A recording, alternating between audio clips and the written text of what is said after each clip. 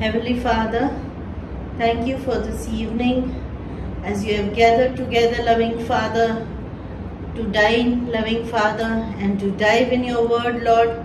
We are really grateful because, Lord, you, your word stands higher, Lord, above all, loving Father. And we pray through the power of the Holy Spirit, loving Father, and through your very anointing and through your gift, the treasure of understanding.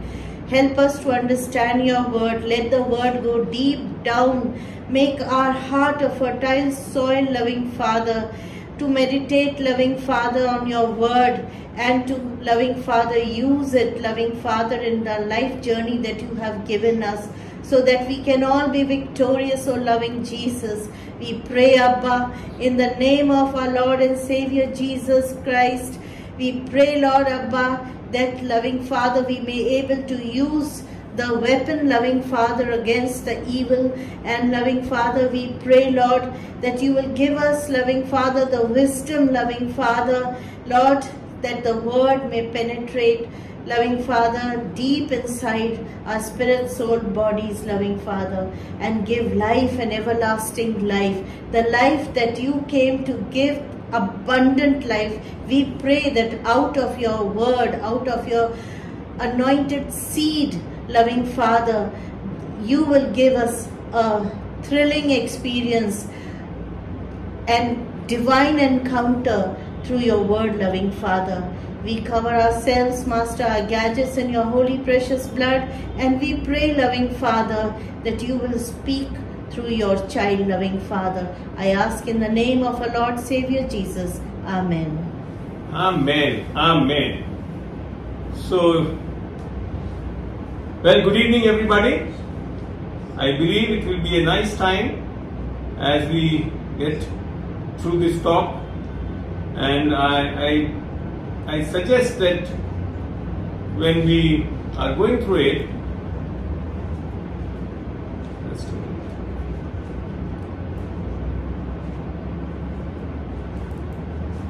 yeah, that's my presentation which I'll be putting up. So, uh, you are reading the title as Born a Successful Manager and Steward Leader. There is some deep meaning about that. People normally try to become successful managers without knowing the complete truth. Okay? As a person, I have, I'm basically a South Indian, but born and brought up in Rajasthan. All my studies have taken place over here only. Thereafter, I appeared in the All India Service for Forest Service and got selected in the 1984 batch. And by God's grace, I was allotted my home cadre Rajasthan, and it was a nice thing that I could come back in Rajasthan to serve from here itself.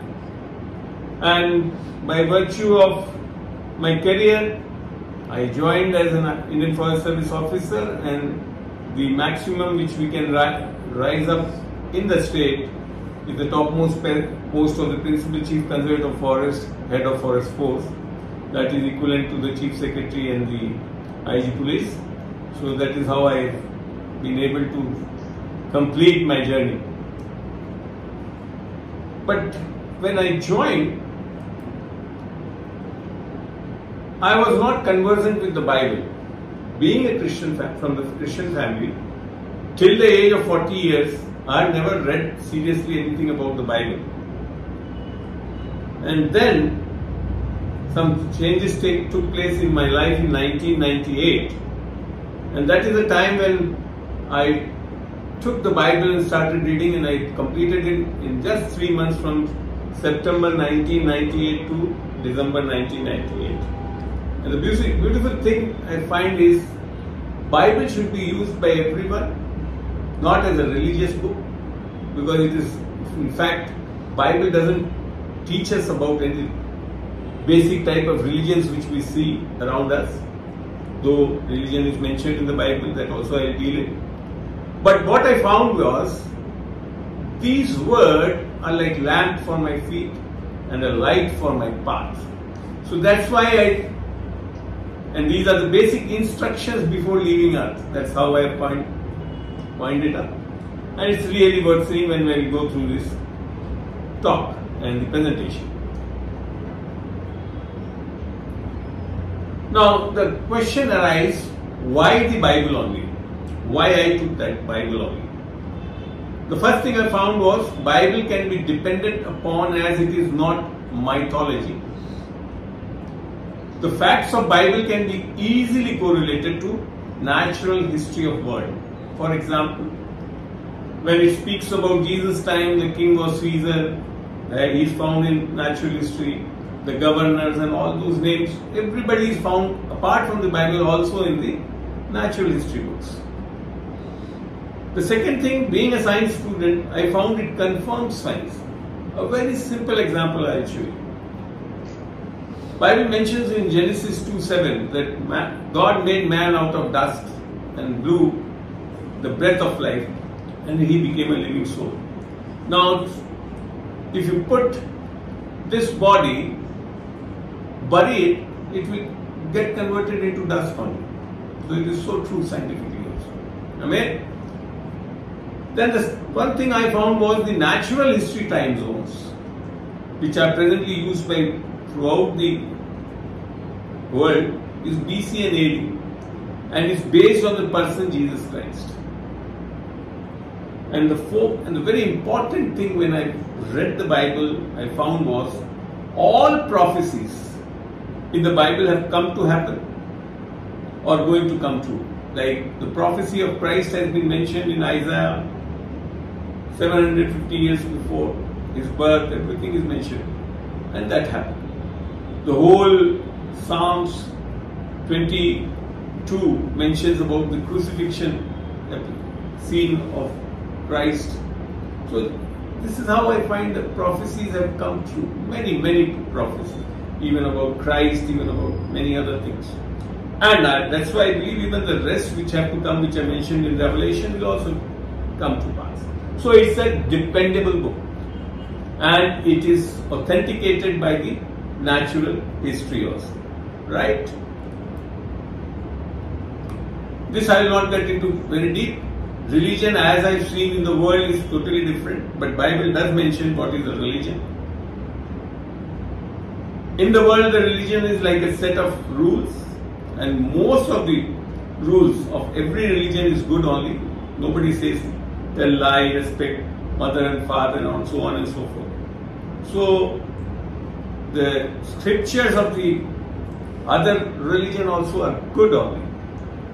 But the true religion, as Bible defines, is: Do any of you think you are religious? If you do not control your tongue, your religion is worthless, and you deceive yourself. This is a very important thing, which in due course of my talk, I also explain as a manager how you have to keep control of your tongue. The second thing is also very beautiful. What God the Father. It doesn't mention only God.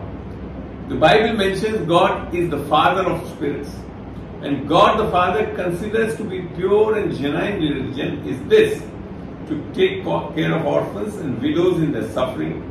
And this last part is really touching. And to keep oneself from being corrupted by the world. We are living in a world which is fallen and we can be corrupted very easily.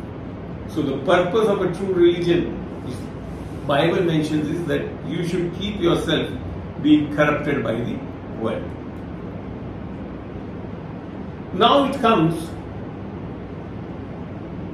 as I want to tell before this, that as a man, I have been very good with all worldly standards, never smoked, never drank, very good in academics. I am a silver medalist of the graduation double promotion during my schooling times. And I was second position holder in MSc Rajasthan University. And then when I appeared in the All India service, in the final stage, when our merits are considered after our training period, I stood in the 12th position in the merit, in the All India merit. So, with all these things, I was a meritorious guy. And yet, till 1998, I tried to use my best skills, but I was not a very successful man. I'll quote you afterwards. The reason is mentioned in the Bible. Jeremiah 10:23 says, O Lord, I know that the path of life of a man is not in himself.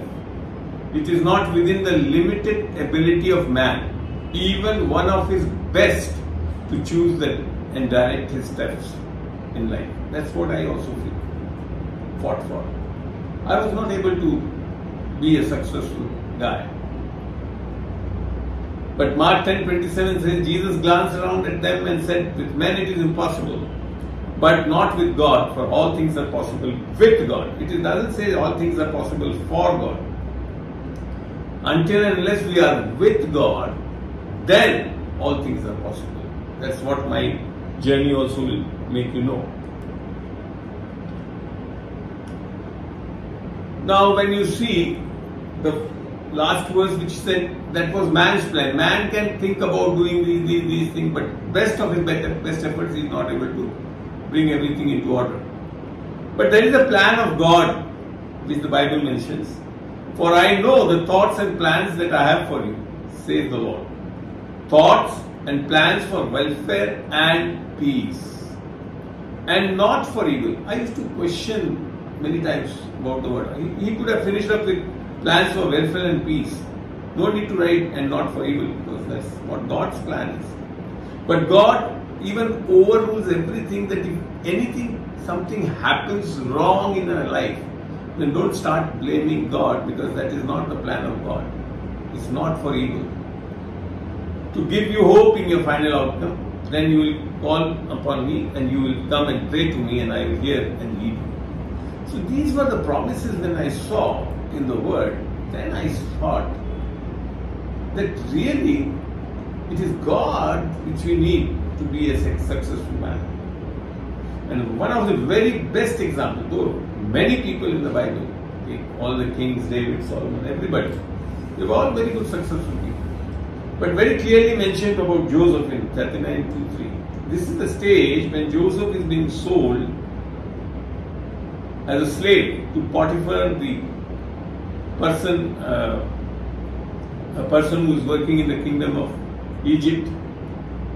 And this is the verse which is mentioned, but the Lord was with Joseph. That is very essential. And he, though a slave, and as a slave he was totally naked, nothing on him, nothing, no, no credit cards, no debit cards, no bank accounts, no Audis, no, nothing, nothing, nothing was there. But yet, the Bible mentions was a successful and prosperous man. With all our worldly standards, we cannot say a slave who is totally na- naked to be a successful and prosperous man. And he was in the house of his master, the Egyptian, that is Potiphar. And the best part is the next verse. And his master saw that the Lord was with him.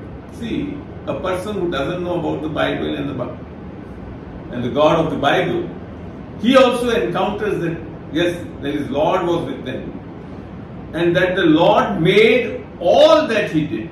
See, nothing few, some, all that he did to flourish and succeed in his hand. I was so impressed with that promise. I said, Lord, I also want to be with you. This is really a successful man. Nothing of you, yet God was with you. You can change and topsy-turvy every table in your favor. That's how we are. And the God of this Bible is who wants to. This is basic concept if you understand from the Bible. Man is made of three things. The body, the soul and the spirit of man inside. In the body you have the five senses by which you can perceive the physical world, not the spiritual realm. That is the touch, feel and all. The soul comprises of mind, will and emotion. That is that peanut brain in your head. The will is your willpower and emotions are in your heart. And then there is the spirit of man. And this is in the image of the spirit of God. when God created man. But due to one reason, that is the fall of Adam, this whole thing went topsy-turvy. Earlier, the Spirit of God was inside the Spirit of man, and this was removed due to disobedience. That will also come. So this is how we are working. So basically, the Bible mentions man is born spiritually dead. It mentions in Ephesians 2 1 Good News Bible. In the past, you were spiritually dead because of your disobedience and sins, and that is the sign. Because you are spiritually dead, that's why you are involved into disobedience and sins. So, what was the spiritual death? That is also mentioned in the Bible. And just as all people were made sinner as a result of disobedience of one man, that is the first Adam. So that is how you become a sinner. This is all a corporate world, you know. And God also worked in the corporate manner. The first CEO of us, Adam, fell in disobedience and that made us sinners, not your sins. Yes, thereafter we started sinning. But the primary reason our CEO Adam disobeyed. People don't understand that. People think that I am disobeying and if I set right all the disobedience, I will become right. No, you will never be. In the spiritual realm, your sinner nature that is without God was caused due to disobedience of Adam. That's what Genesis 2 16, 17 says. Do not eat the fruit of the tree of knowledge. The day you will eat it, you will know good and evil, and you will surely die. So that is the reason. And then the same way, restoration with God, or the restoration of the Spirit of God inside us, which is also known as salvation, moksha, various things, Nijat, Uddar in Hindi. That also cannot be done by our works. Good works cannot be done. For that you need the obedience of what Jesus did. So this is the whole gameplay in the spiritual realm. You become sinner without God, and when you become without God, what happens is your spirit, which should be united with the Spirit of God, there is no union. So you are now walking with your soul and body. You perceive with the five senses. Your mind analyzes those things, you can do good things in this position also, but yet it is not the excellent way. That's why I said the best of your best effort without God may not be the reason of your success. So how now we proceed further? That's when I understood. And in 1998, I had already become an IFS officer and I had done a service from 84 to 1998 around more than 14 years of service. Yet I could not meet things properly. I'll just give me a minute. Okay.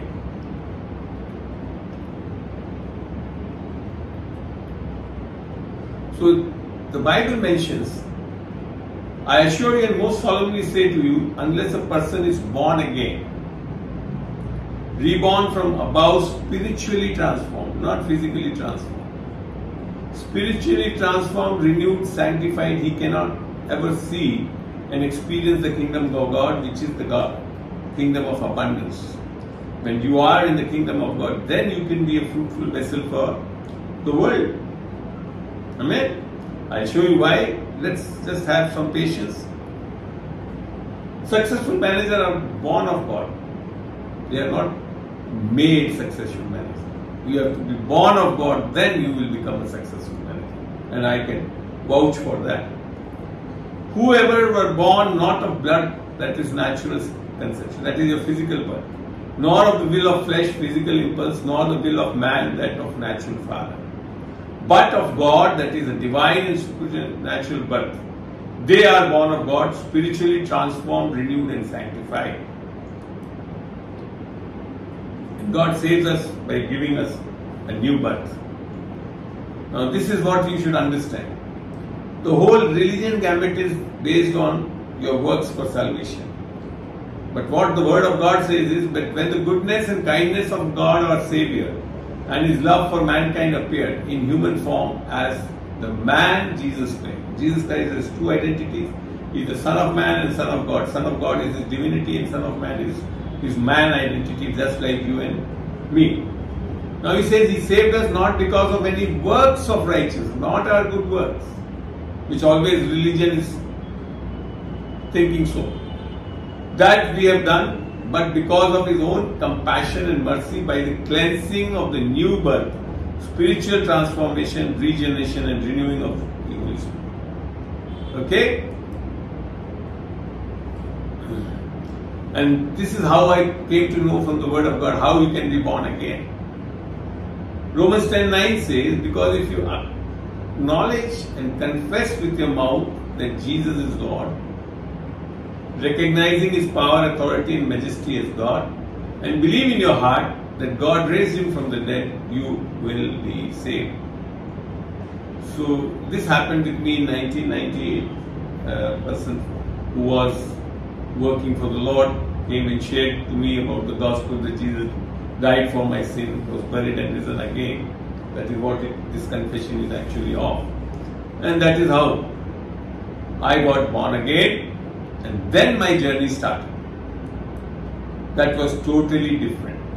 Earlier to 1998, I was good according to worldly standards, but yet not successful. I told you. Then he says, then I say, good, good academically, I have already shared. Double promotion, silver medalist, second position holder, 12th position holder in UPSC merit. And knowledgeable, but yet not prosperous. Because in my life I didn't see that. Laborious, but yet not had achievements. I used to labor a lot. Too much of labor I used to. I remember before my salvation, I used to bring my office work at home and work on my files till 3 a.m. in the morning. Pack up, load it in my morning vehicle, that is my ambassador's government vehicle, carry it, and then again slog from 10 to 5 in the office. Yet I couldn't achieve very good achievements. I used to believe work is worship, which is not. You should only worship God. Amen. In family life and professional life was finding myself cursed. And what is a curse is that you are empowered to fail. And I have failed in many areas of my life till then, 1998, when I got saved. In relational things of issues within the family and also with my wife and children were very fearful about us, the way I used to go on. And that was the first uh, testimony of my elder son was when I got saved and we started walking with Christ. He said, Papa, seeing our lives, your lives, I was thinking of committing a suicide. Can you imagine a young child saying to his father that how brutal we would have been. So don't think that you can, you, maybe worldly standards, you may be very learned, very thing I was. And though I was not that brutal also, very good. But what I was, I was a good sinner going to hell. A good sinner going to hell till I understood my salvation. After 1998, in September, I got saved, my family, my wife, and the children. Then I saw the blessing of the Lord brings true riches, and He adds no sorrow to it. See, the blessing are not the riches, blessing is the Lord, as we saw in Joseph. And Joseph was with God, he was a blessed and prosperous man. and the second part is also important of this verse of the truth that there is no sorrow. Earlier, my life was having a lot of sorrows. You won't imagine, same IFS job, but in the third week, I used to get penniless with my same salary. And when I was used to keep all my accounts on my computer, even the purchase of six eggs or a bread, that details I used to keep. And on the third week by end, I would become penniless, and then I used to tell my wife, What are you doing? Why are you not saving things? She said a very sweet reply I only cook, you all eat. I was speechless after. And then after I came to know from Habakkuk and all that you bring, you are cursed. And when you are cursed, you carry your wages in a bag with holes. Many things happened when we came to Jaipur. Like my son was having severe asthma. Literally every week, four or five days, we'll be sitting with the doctors, consulting them. So that was my position before my salvation. But thereafter, we prayed, he got healed of his asthmatic attacks. So that is how our journey started growing in faith. That we knew now God is with us, and who can be against us? And then, as Isaiah 48 says, I am the Lord thy God, which teacheth thee to profit, which leadeth thee by the way that thou shouldest go. So, when we got joined in the Spirit, with the Spirit of God, that is the time we understood. It is not from your textbooks, it is from the Spirit of God that you should be taught. Amen. This is my career record. I started as assistant conservator of forest. That was my probation period in 1986 in Banswara. Then I was the first promotion 1988 Dungarpur. Then North. Then project director DRD. I have varied experience apart from forest service in District Rural Development Authority.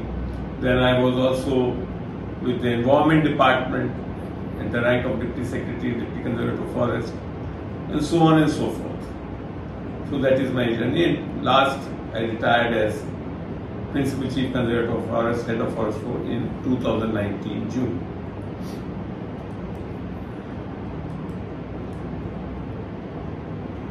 When I speak about my annual performance report, this is all that is the online available reports.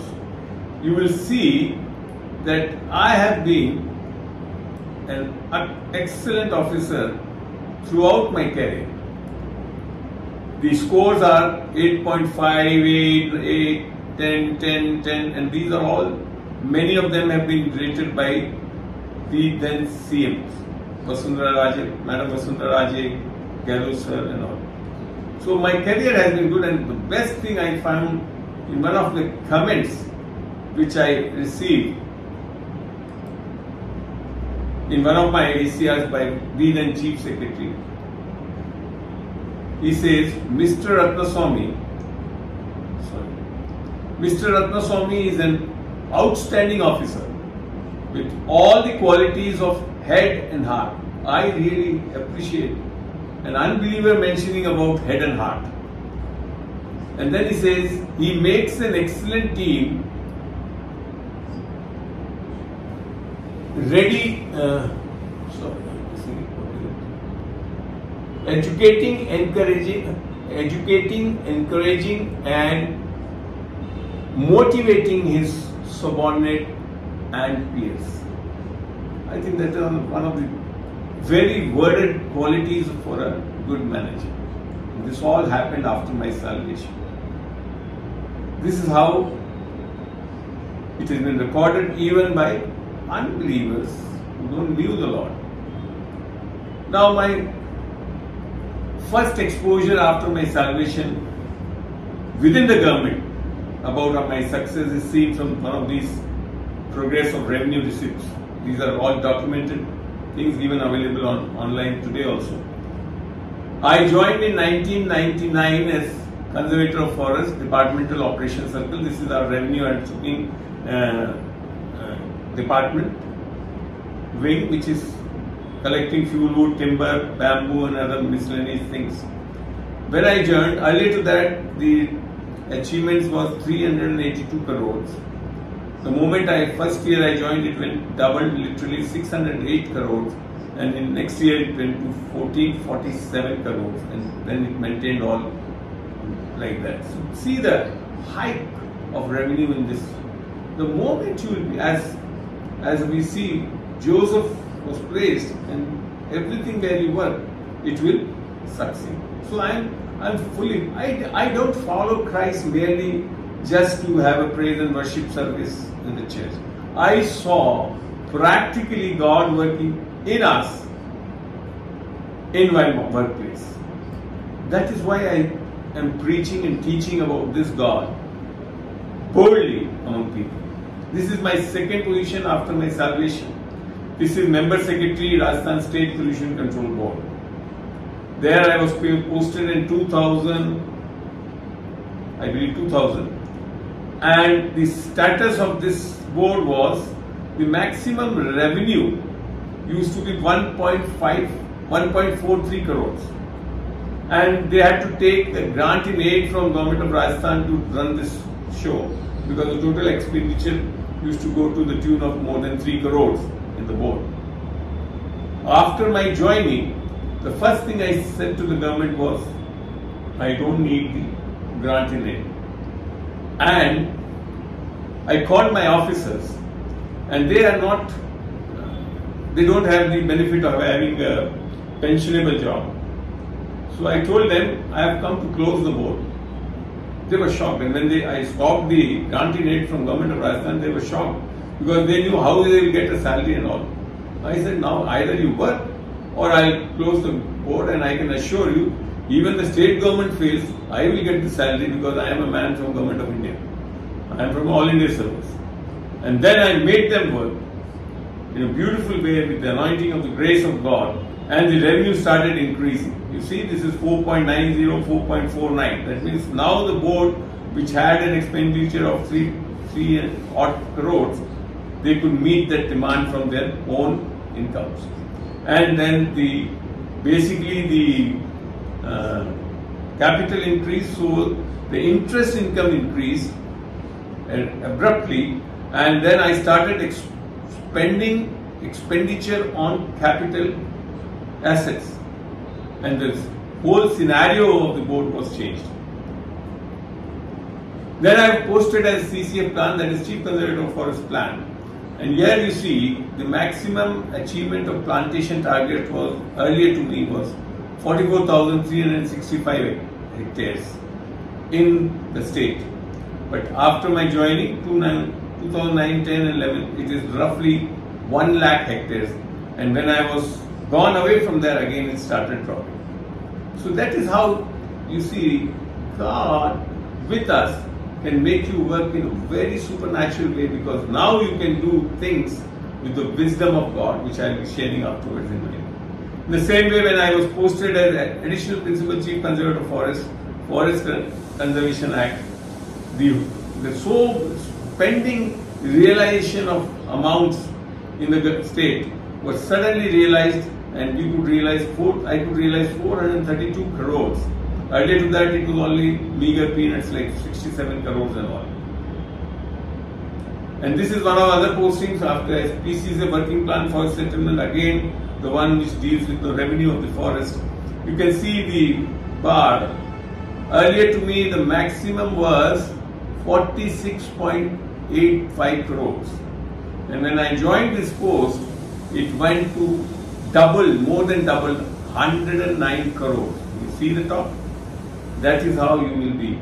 Not only you will be successful and benefited, the organizations where you are working, they will be benefited and all. Because you are now with God working for them. So this is how, and this is when I was in the topmost post, people were not looking after the promotions. It is a record promotion. 196 people promoted when I was as promotion as head of office. So that all shows you the figures how I have been successful after my born again experience, salvation, and then God started working with me, and the grace of God I used so mightily things. And I have seen many experiences during that time, like in the board. It happened once that the union leader of the fourth class union, he brought the first day when I joined, he brought about 15, 16 demands letter and within a week's time, he, he again entered my room. And I had done nothing out of that demands. And he was yet that time smiling. So I asked him, why are you smiling? So he said, Sir, outside everybody says to me that today you should enter and do something to the member secretary. And then I came to know afterwards that he has topsy-turvy three times the table of earlier member secretaries and maybe slap two or three member secretaries. But then he said, I don't know what happens when I enter their room. I can do nothing. I said, that is how Psalms 20, 25 mentions that God will surround you from now and forever. Nobody can touch you. That is the power of God when we walk. So that is how we should believe. Now let's go. The take of the today from the Bible, the qualities of a leader. He should possess character and inspires confidence. And people like and want to follow. That's the real leader. That's what Psalms 15:4 says. Who despises those who are utterly wicked. That means you should in your workplaces not allow the wicked people to flourish. But who honors the one who fears the Lord, who keeps his word even when it hurts and does not change. Then he says, I am the Lord your God who teaches you how to succeed, who directs you in the path by which you should go. I have seen God speaking to me in every case in files and during meeting times and all. He will advise me, he will say these, these things. And then I used to see that it is something supernatural. When the grace of God, that's what the uh, Bible says in Timothy 2.11. The grace has appeared for all men, teaches you. That is how God grace works. The other qualities of a leader are one who leads other to leadership. Not that he becomes a leader and rest should not be made leader. The quality of a leader is when he brings up leadership. Not on popularity but on integrity. I mean, popularity leadership you can see all throughout in our systems which are working nowadays, especially in the political systems. But it has to be on integrity. And one who guides by influencing. By what he does, he influences the people. That's what these verses say. People don't light a lamp and put under a basket, but on a lampstand. And it gives light to everyone in the house. Amen? Then 516 says, Let your light shine before people in such a way they will see your good actions and glorify your Father in heaven. I have seen that. I can assure you, when I have worked in my workplace, everybody knew that I am follower of Christ, and they always used to appreciate that whatever you do, you are doing for the good of people. So that is how a quality of leader has to be. The, the first chapter in Genesis,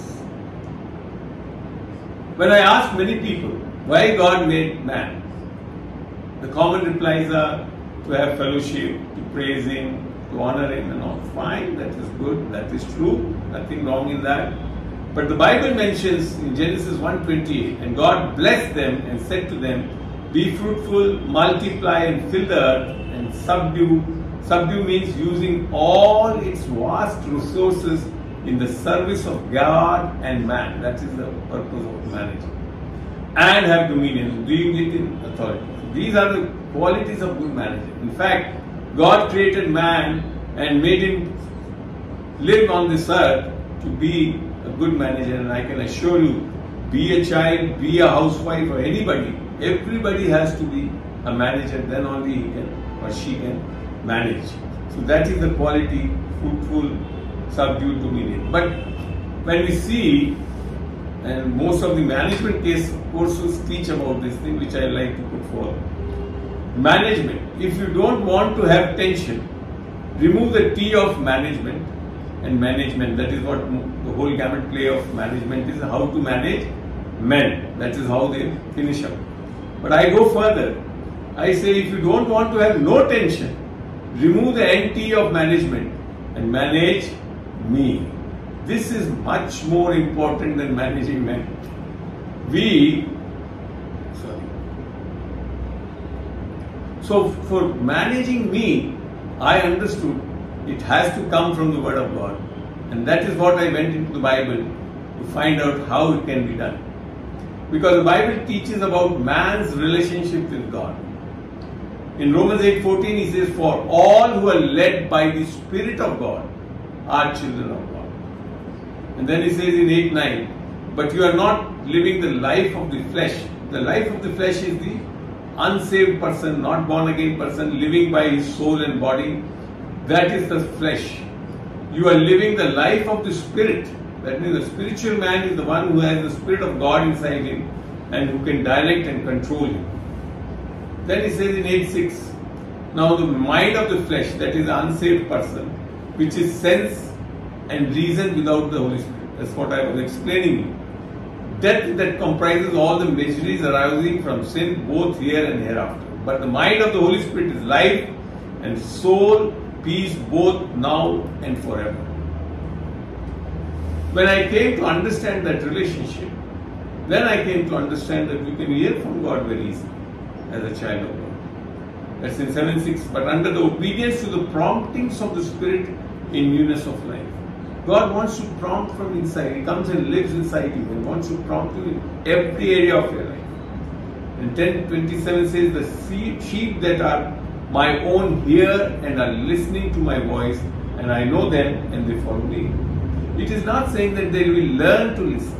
It says they are listening. That means the moment you are in union with God in your spirit, you can hear from Him very easily.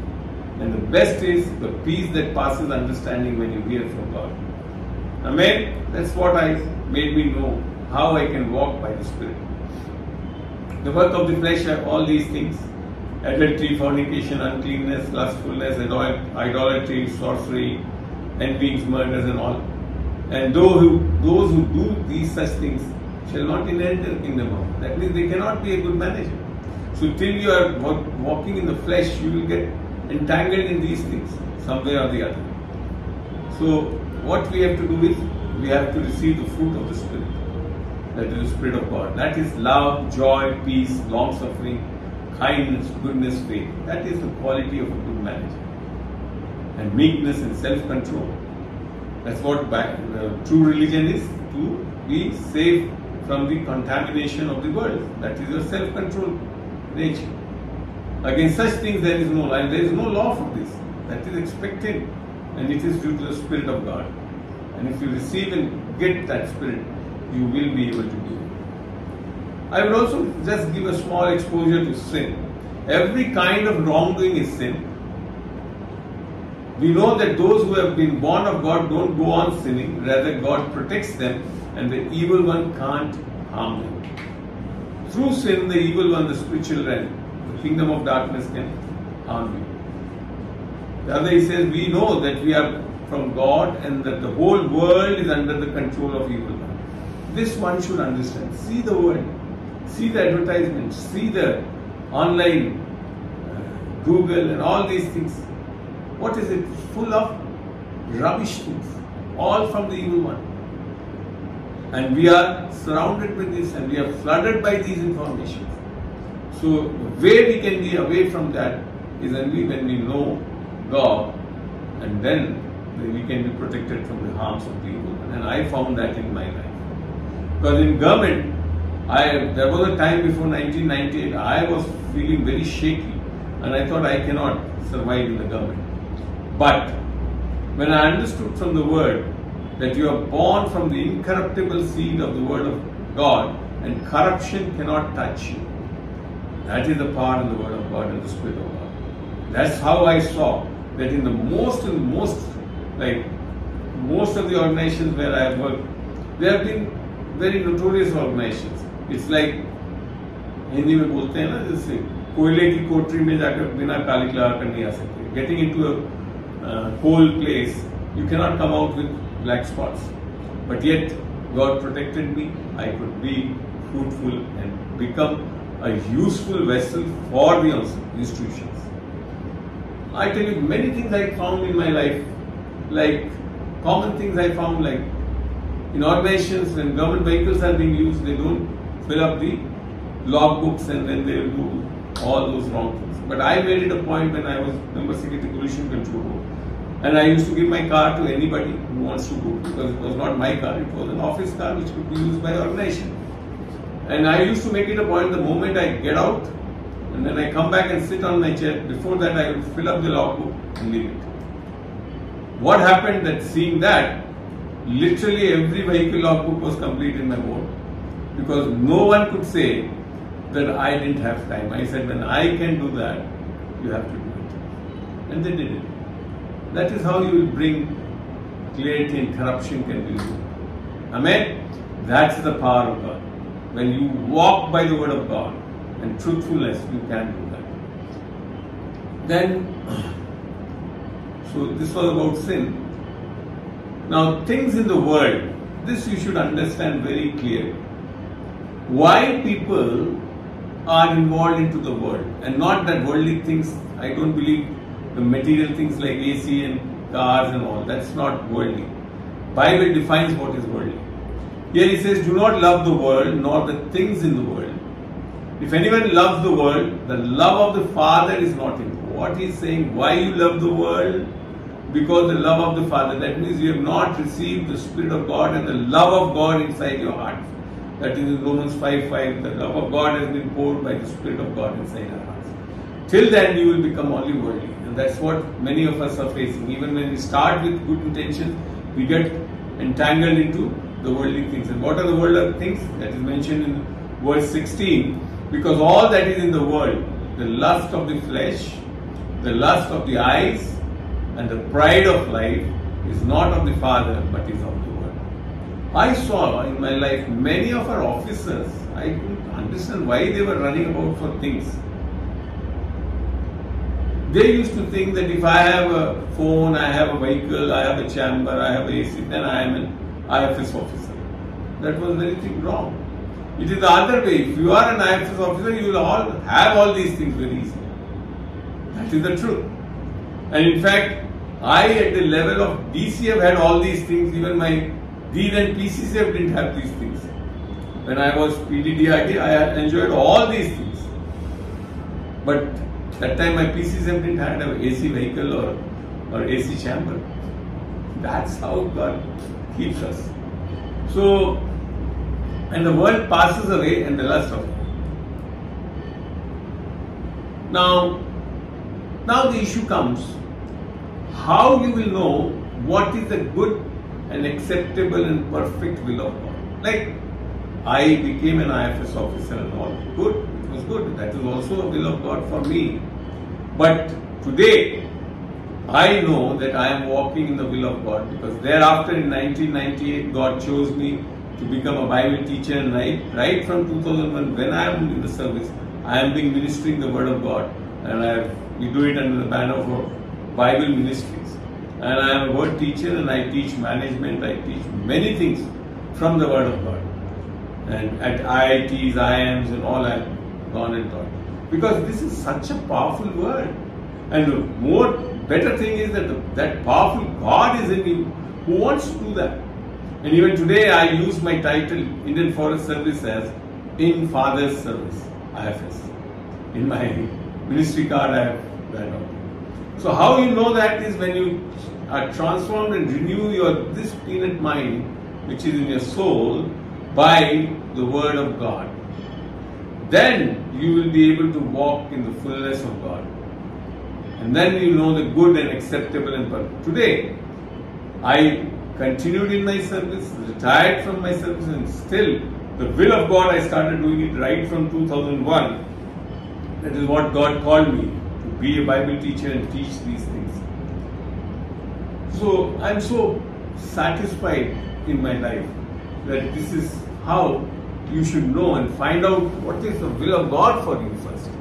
And once you have this will, I can assure you, you will become a wonderful and successful people in life.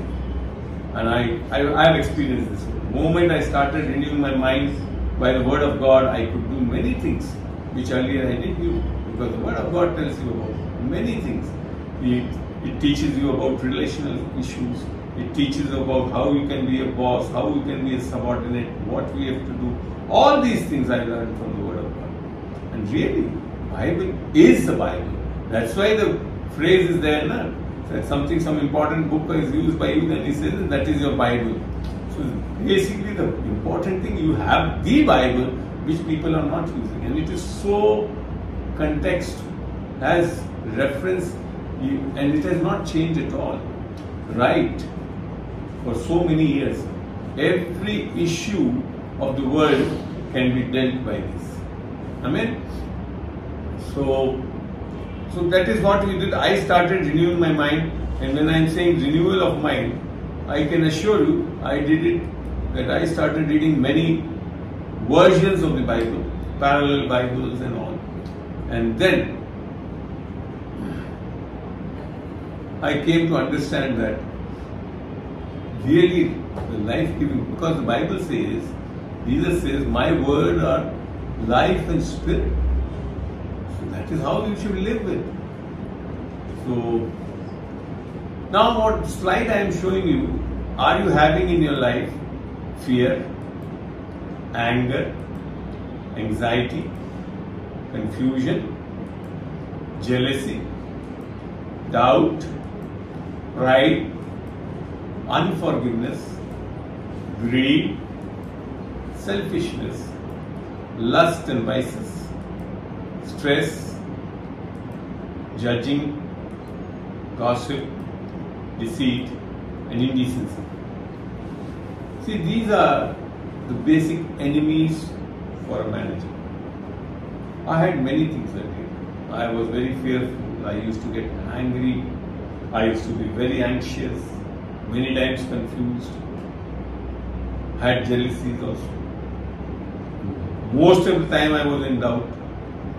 And then I had a pride of my own, being an all India service officer and all. Unforgiveness was there amongst my family members, etc.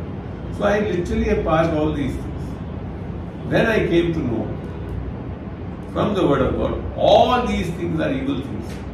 And they do not come from outside, they come from inside of a person and make him unclean. This is due to the fallen nature which we have. These are the barometers of sin and the cause of unsuccessful marriages. You can see in your life. If you are having all some of these also, you will find in these many areas you will fail. I'll be taking some in the further slides.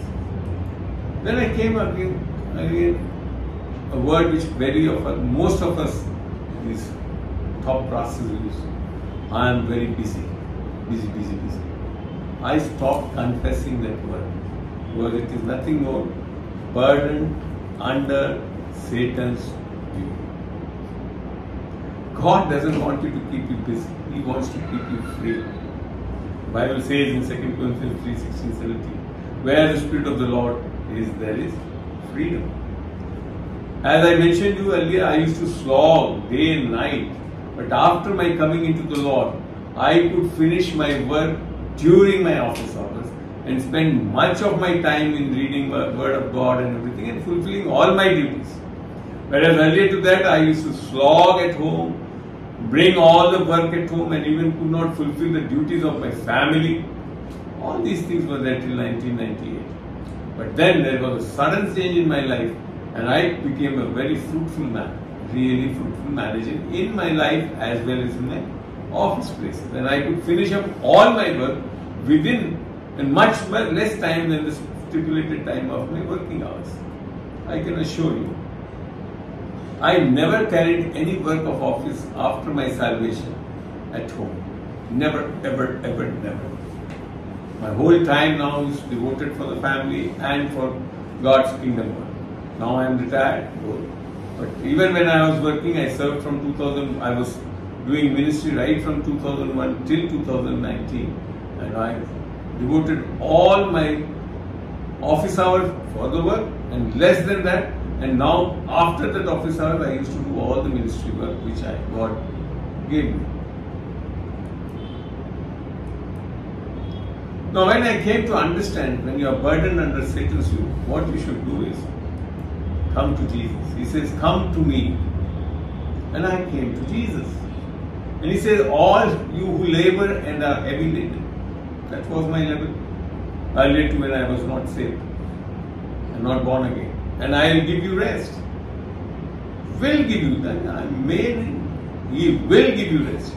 Take my yoke upon you and learn from me. For I am gentle and lowly in heart, and you will find rest for your souls. For my yoke is easy and my burden is light.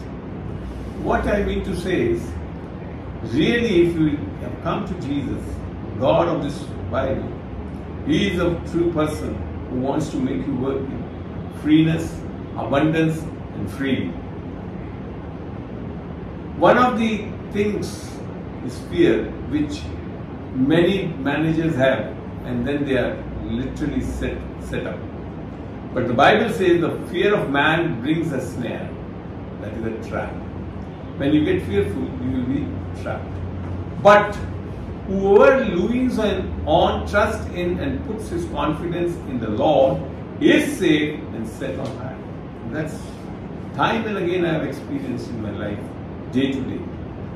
In the government, a call from any place makes fearful, many managers fearful. But I never feared. I was very bold and I was very respectful for my elders and my seniors. I worked under ministers, honorable chief minister and all. Never said anything other than that. So, this is a promise that if we are in the Lord and trust in the Lord, we will be saved.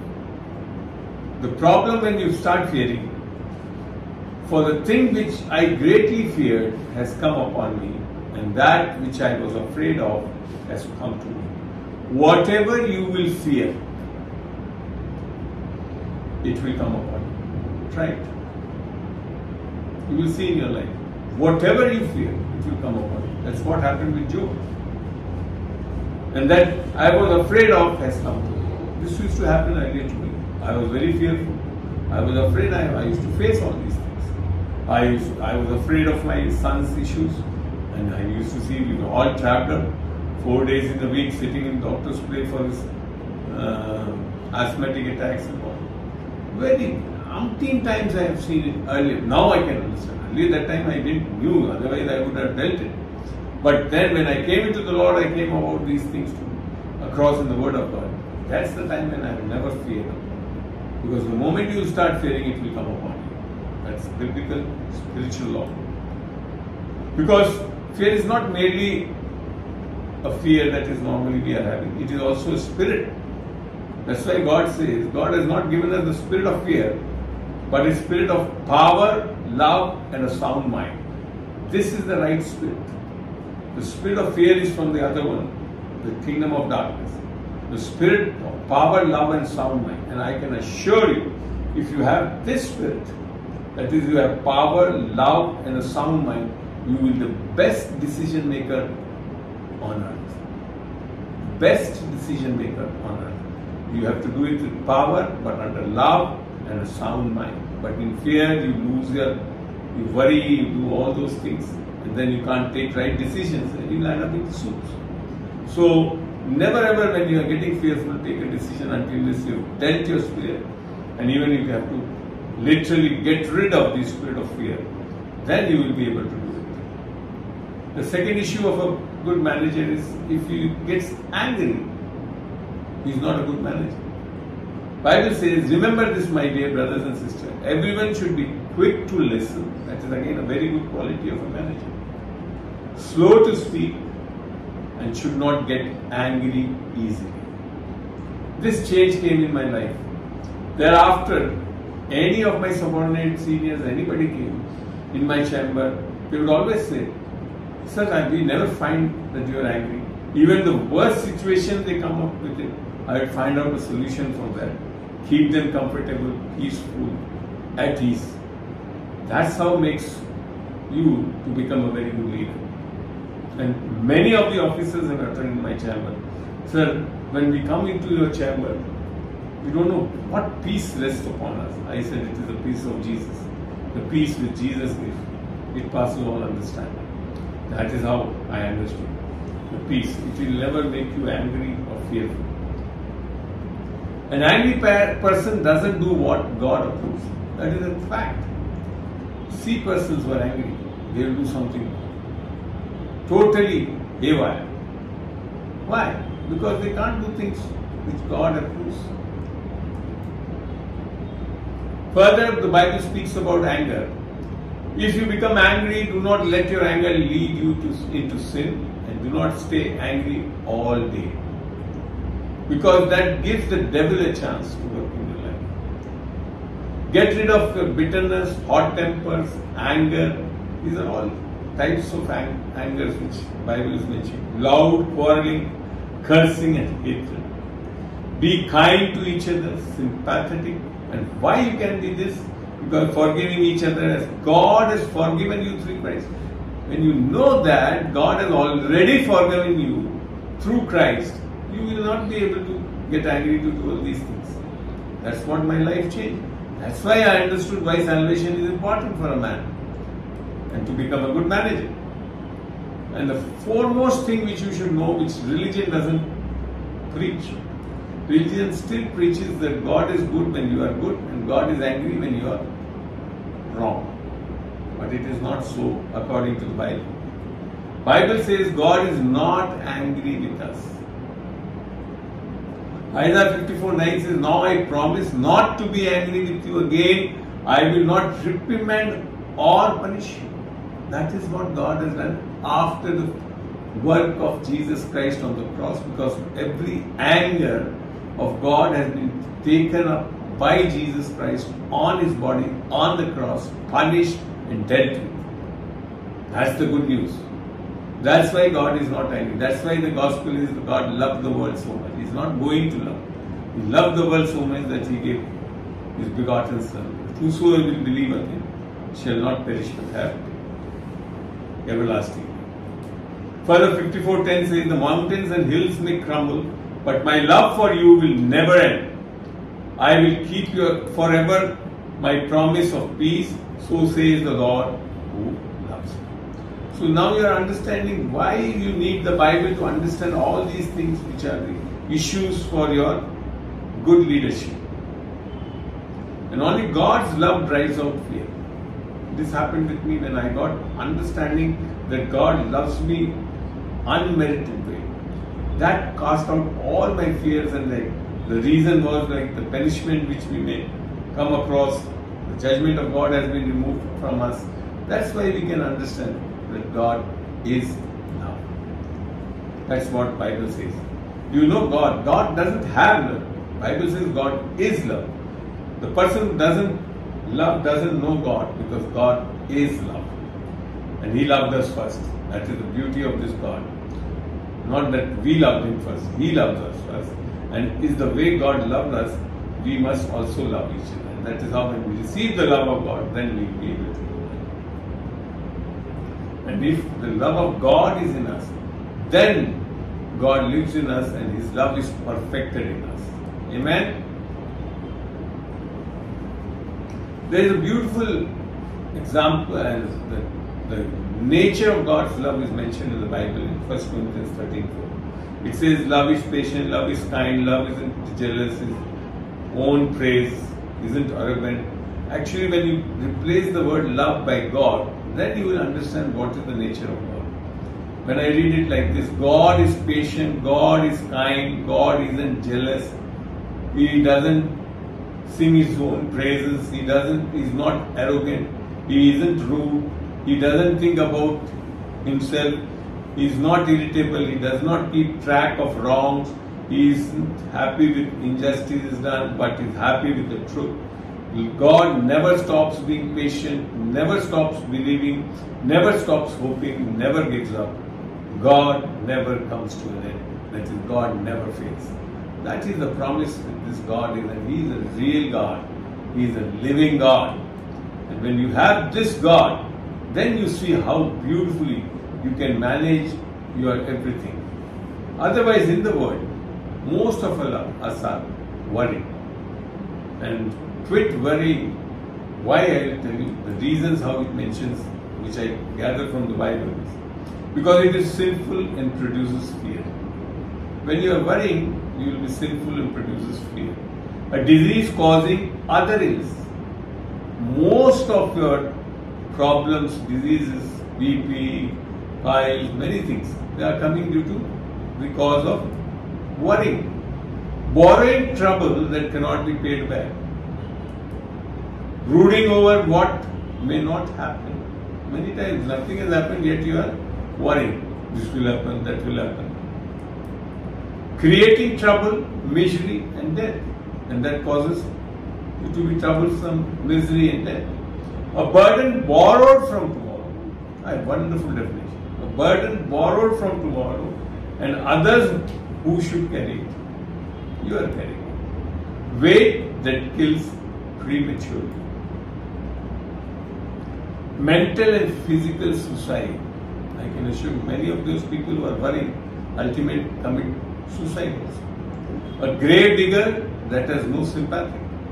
Needless and waste time and effort that should be spent on worthwhile, worthwhile things. That's what Bible Bible. Jesus said, don't worry. A robber of faith, peace and trust in a never failing Heavenly Father. You will never be able to trust the Heavenly Father if you are worried. And that's why time and again said, do not fear, do not worry. A stumbling block to others, a disgrace to God, and should never be indulged in by us. Anxiety over what is nothing today and less tomorrow.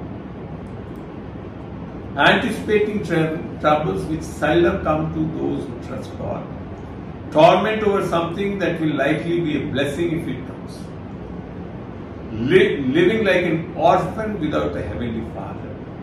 A crime against God, man, nature, and better judgment. Mental cruelty to self and others. But if you are still worrying, it is foolish for whatever is going to happen cannot be stopped by worry. And if it doesn't happen, there is nothing to worry about. Should adversities actually come, one may still be victorious by trusting.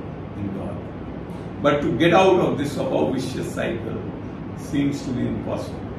The whole world is crumbled under worries. But the things which are impossible with men are possible with God. When I came into the Lord, the first thing I came across was I stopped worrying. Because now I know I have a real big boss, my Father, Abba, God the Father. And I know He takes care of me. That's why we not worry. That's what He says. Cast all your cares, anxieties unto Him. That is how we become humble before God. The viewpoint about worrying is mentioned. I tell you to stop worrying. That's what Jesus says. About what you will eat, drink, or that these are the common reasons for worries.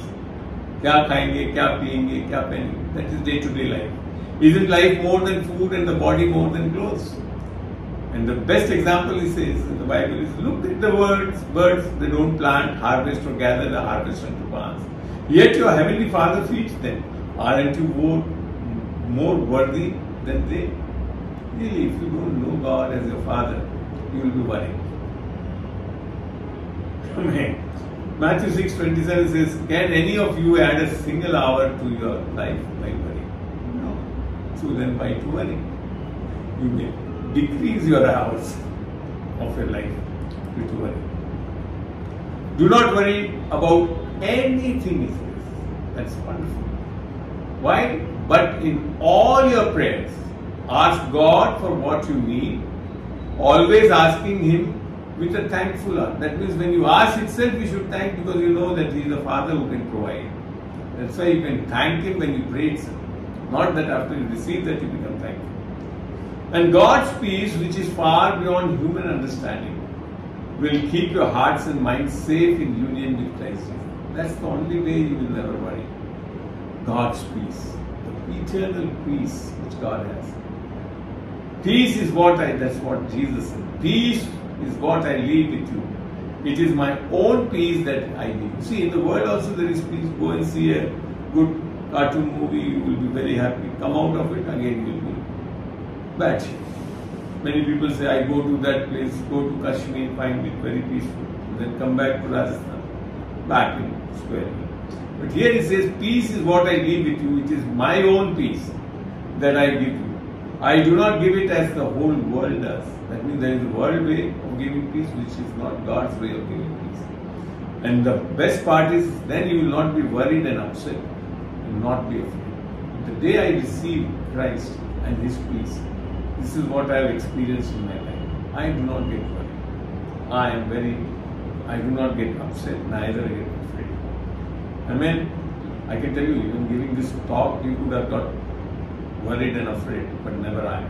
Because I know God can do it because He is the one who has anointed me, appointed me to do these things. The very other thing which is a killer for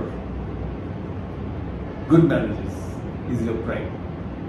Because only, see the word, only by pride cometh contention and quarrel. If you are keep on grumbling, quarreling, it is your pride, not other people. But with the well advised is wisdom. Pride leads to destruction and arrogance to downfall. You will be seeing it. Many of our politicians who are becoming like that. We will see the results in the coming elections. This is a problem. Whenever you will be prideful, you will lead to destruction and arrogance to downfall. I have come across many officers and all. The moment they get prideful, they perish. Why? These are the symptoms of pride. It hides. It will never show that he is prideful. Always advice for everyone. Not take advice. Always think they are right. They always blame other people Impatience is fruit of pride, incompatible with people, judgmental on every small issues, but they love attention for themselves, not do much to other people. Pride keeps us angry. Do not forgive. Mental reasoning that is figure it out and get deceived. That is the problem with pride. It's a very silent killer, and you will not know and that was the first sin which happened with Satan. That is when he was Lucifer. The moment he became prideful, all these things happened to him. Amen. Now, this is how we can be a good manager. You should have a humble living. Romans 12 8. If it is encouraging others, devote yourself to giving encouragement. How much as a leader you are encouraging people? If it is sharing, be generous. If it is leadership, lead enthusiastically, not by whips and wrong in a very harsh way, but enthusiastically. If it is helping people in need, help them cheerfully, not with regret, remorse.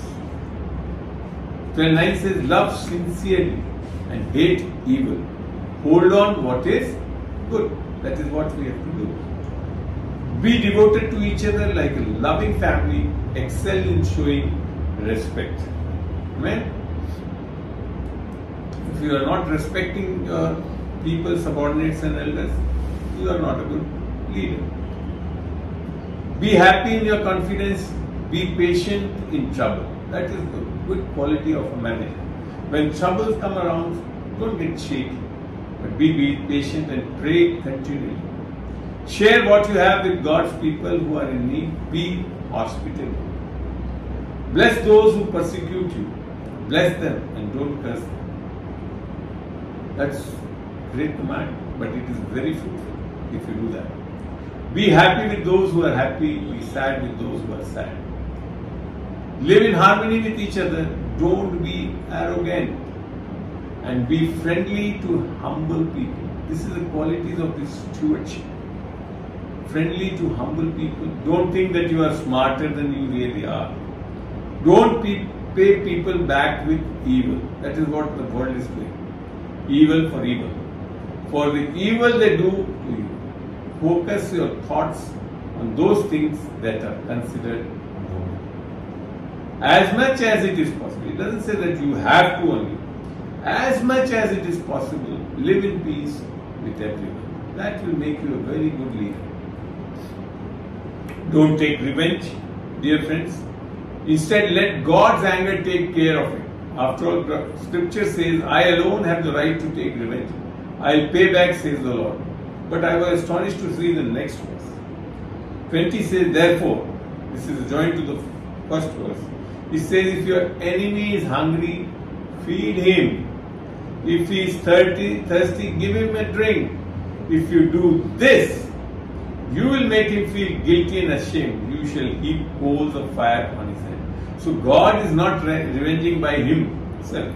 He is revenging through you only when you walk in the love of God. Then it becomes the coals of fire on head. Don't let evil conquer you. That is a very common thing which we face. Whenever we have been disturbed, evil things come upon us, but we have to conquer. We start also doing the evil things to others. That not is the way to, to conquer is to conquer evil with good.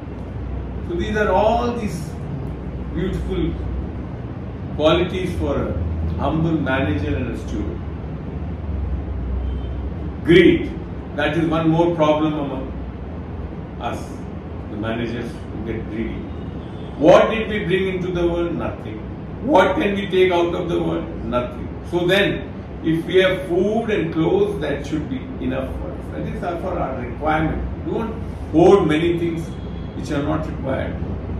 Let it be used. That's what the good manager, that is the subdue word was used to use the resources for the good of God and others.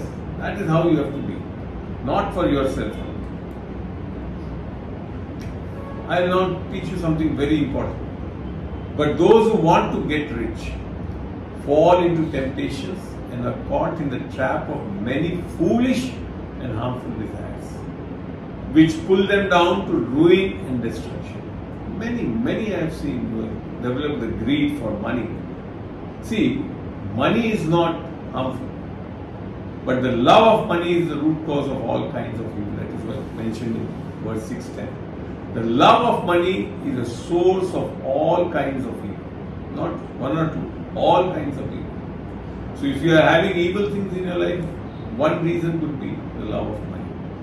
Some have been so eager to have it that they have wandered away from the faith and have broken their hearts with many sorrows. So you can land up into sorrows when you have love. But you, man of God, avoid all these things. Strive for righteousness, godliness, faith, love, endurance, and goodness. That is the qualities which you should imbibe. But if your heart, now this is speaking about the wisdom. Wisdom is also two. There is a worldly wisdom and there is a godly wisdom. What is worldly wisdom? In Bible, James chapter says, if your heart you are jealous, bitter and selfish, don't sin against the truth by boasting of your wisdom. Such wisdom does not come down from heaven. It belongs to the world. It is unspiritual and demonic. And that is what you see all the through the day-to-day newspapers and all. The world is actually walking in the worldly wisdom, which is basically unspiritual and demonic. Where there is jealousy and selfishness, there is also disorder and every evil kind of evil, every kind of evil. So that is the worldly wisdom which it gives. But godly wisdom, it says the same chapter. But the wisdom from above is pure, first of all. It is also peaceful, gentle, and friendly. It is full of compassion, produces a harvest of good deeds. It is free from prejudice and hypocrisy. I have seen in my life, after seeing the godly wisdom of Christ, that my whole working changed. It becomes more peaceful, gentle, friendly, full of compassion, and produces harvest of good deeds. And as you have seen even the records which I have about the government, that really clearly reflects that you will bear much fruit. And it's so simple to receive this godly wisdom. If any of you need wisdom to know what you should do, you should ask God. And He will give it to you. God is generous to everyone and doesn't find fault with them. Even if we are wrong in some areas, yet when we ask God in sincere faith, He is ready to give you wisdom to come out of all those problems also. When you ask for something, that's the principle that we should not doubt, otherwise we will not receive it. The very important Bible speaks about is knowledge. See, without right knowledge, you will not have right faith and right work. So my people are destroyed for lack of knowledge because you have rejected knowledge. And I can assure you, if you really want to have right knowledge, do as I have been doing it. Get into the Word of God, and you have every knowledge for every issue in some or the other way to correct you and guide you and lead you. So always depend on the Word of God. Do get into the Word find out that knowledge. Now, these are about the relationships which, as a manager, we should have. For slaves or subordinates, obey your earthly masters with proper respect. Be as sincere as you are when you obey God. As you obey God, in the same way you should obey your masters. Then he says, Don't obey them only while you are being watched, but if you merely wanted to please me. See, don't be men pleasers by showing that I am working. But otherwise, you are not working and doing the right things. But obey like slaves who belong to God, who have a deep desire to do what God wants them to do. Not what merely boss. What God wants to them. Serve eagerly as you are serving your heavenly master. And not merely serving human masters. That was the nature I developed. I was not sitting in my office if my boss is there or somebody. I was there because I am seen by God and that is how I used to keep my working. Everywhere I used to see, yes, God is seeing me, so I have to please Him in every way.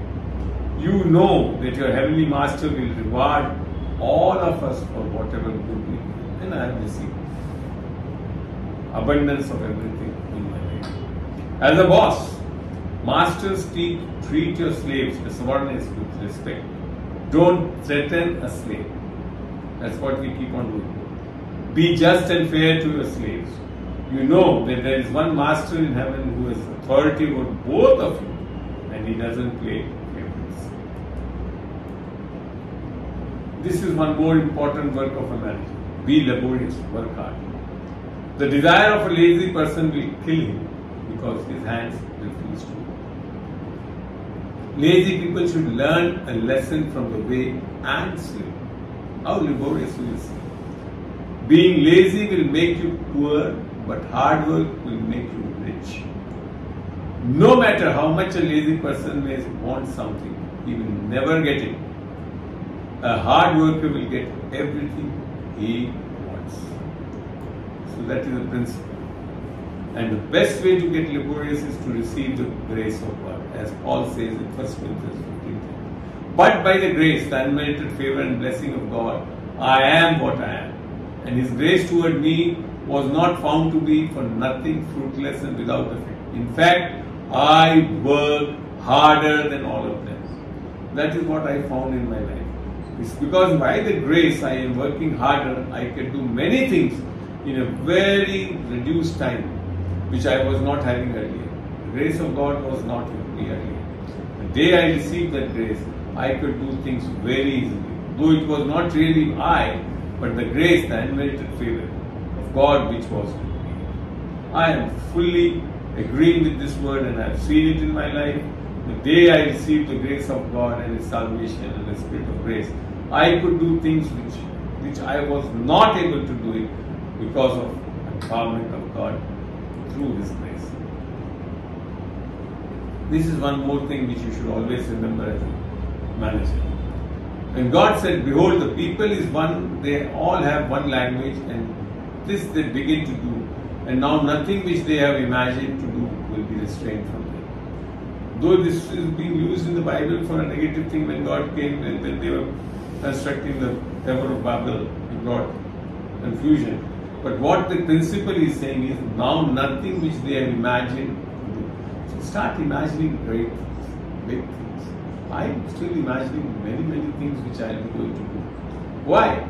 Because Bible says now nothing which they have imagined to do will be restrained from them. I I remember when it was coming about revenue, when I called my subordinate officer and I asked them what will be the revenue. He said, last year it was something like 45 crores, maybe 50 crores. I said, forget it. It will be doubled, more than 100 crores. And I imagined that and I found it and it went up to 109 crores.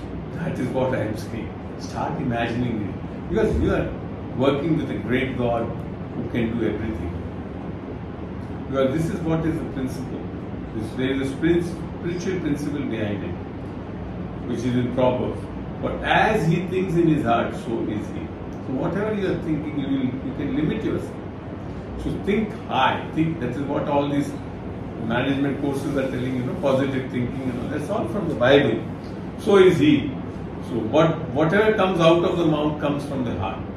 Keep and guard your heart with all vigilance and above all that you guard, for out of it flows the springs of life. What you are thinking in your heart, mind it, guide it, and it should be thinking according to what the word of God says, not according to the world not what you think, but what the word says. That I am successful in Christ Jesus. I can do all things through the strength of Jesus. All these things you should that is the spring. That is how your heart should be filled with the word of God. And that is why he says a glad, glad heart makes a cheerful countenance. That's what I was sharing. That all the officers, whenever he used to, or my subordinate officers used to, they will always say, Sir, you are so happy. You are always having a cheerful countenance. Why? Because I believe and understood the truths of the word of God. But by sorrow of heart, the spirit is broken. A happy heart is good medicine, and a cheerful mind works healing. But a broken spirit dries up the bones. All the things that we mentioned in the word of God for a good quality manager to live. This is one more spiritual thing which hampers many things in our life. What are you speaking or saying? It can lead to death or life. Choice is with us. It's not with God, it's with us. Proverbs 18:21 says, Death and life are in the power of the tongue. What you are confessing. ऐसा हो जाएगा बुरा हो जाएगा फला that project will fail. Never do that. Because it says death and life are in the power of the tongue, and they who indulge in it shall eat the fruit of it, or death or life. even many of my officers, subordinates used to come and they they will get fearful and start saying something like, nothing can happen. I said, no, we will be able to do it. Because I know the principle. I speak life because every word has power to create. Proverbs 21 23 says, Whoever guards his mouth and his tongue keeps himself out of trouble. So beautiful.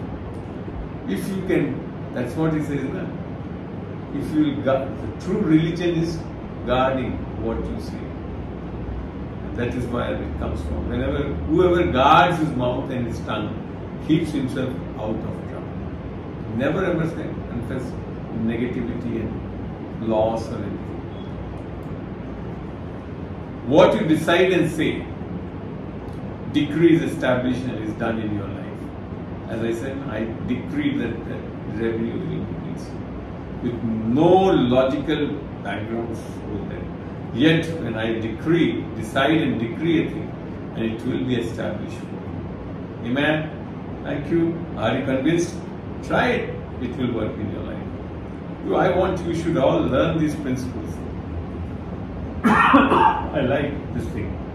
Revelation was then had made us kings and priests unto God and His Father. So what is that? For the word of a king is authority and power, and who can say to him, What are you doing? I have seen umpteen times.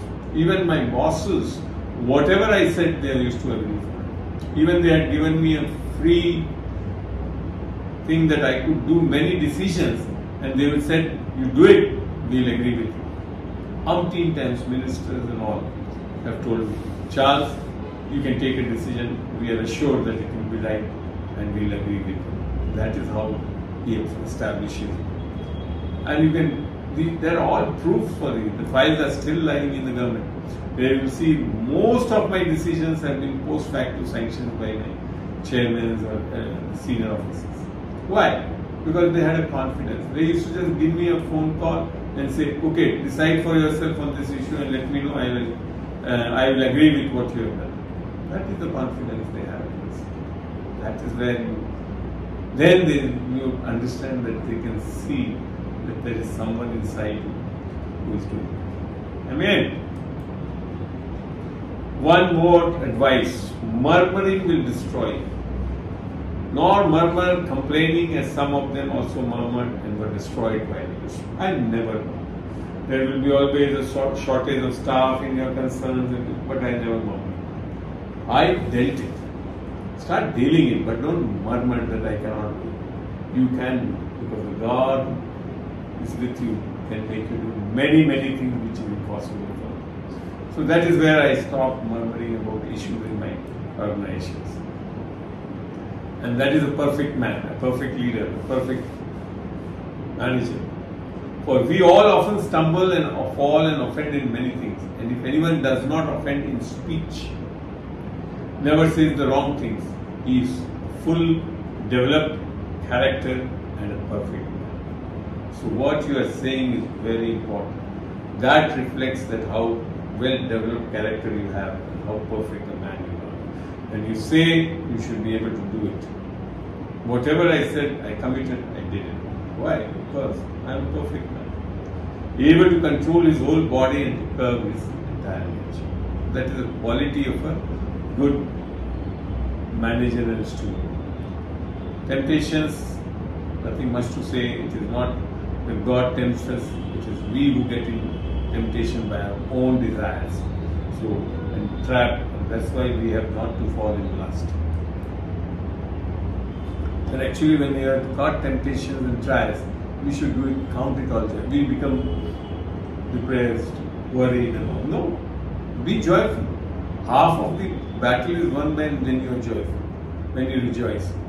And when you endure it, you come out and then you will be lacking nothing after. Once you come into a test and trial, and if you are joyful and you and, and, and you do it patiently, you will come out of it perfect and complete, lacking nothing in it.